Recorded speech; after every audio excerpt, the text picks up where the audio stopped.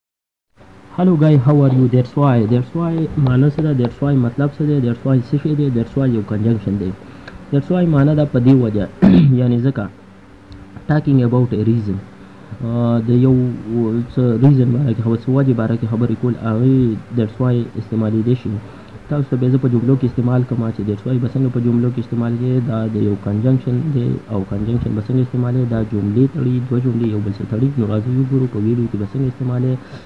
او تاسو ویډیو مخکې وګورئ او اخیره پورې دا ویډیو وګورئ نو تاسو به ښه کنسپټ به هم ښه کلیر شي په دیټس وای باندې چې دیټس وای به څنګه استعمالې او دیټس وای څه شی دی نو ویډیو د اخیره پورې وګورئ او ځان ښه پوهه کړئ په دې باندې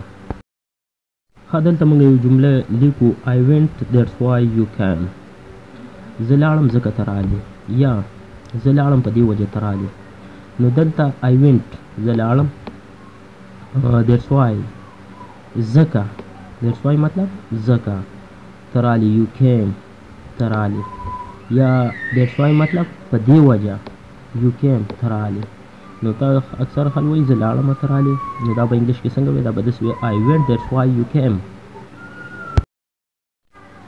هی واز ایل دیټس وای هی کوډنټ کم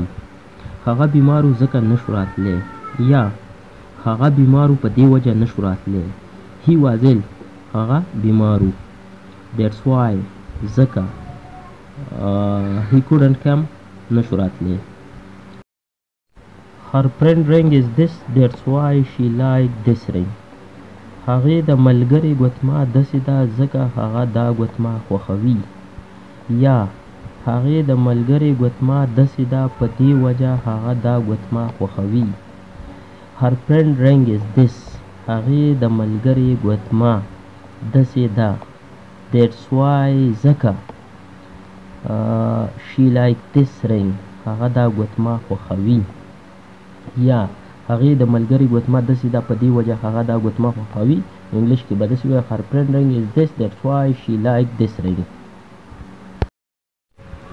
امید ساتم چې ستاسو کنسپت به کلیر شوی وی تاسو په دې باندې ښه پریکټس وکړئ ښه غور سره یې وګورئ او ښه بار بار استعمال کړئ دا کنجنکشن چې په دماغو کې پوخ شي